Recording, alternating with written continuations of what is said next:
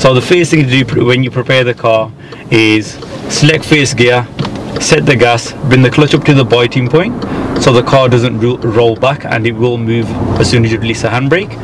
So now um, you're going to think about signaling signaling if it's safe to do so yeah there's a vehicle overtaking so I'm not going to signal yet and I can see. So I'm just checking my center mirror to start off with yeah. And clearly it's not safe. So I'm not going to bother with all the checks yet.